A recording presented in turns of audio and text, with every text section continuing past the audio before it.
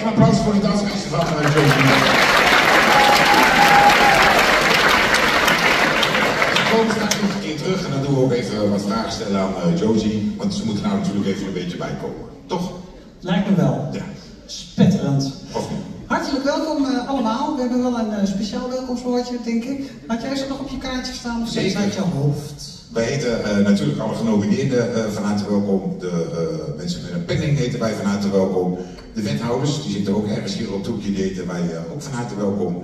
En de jury, die zou jij even voorlezen. Ja, de jury, want wij hebben een jurywijziging gehad en we hebben vijf nieuwe juryleden. Um, ze zitten in de zaal, we gaan ze niet op het podium vragen, maar ik ga u wel vertellen wie het zijn.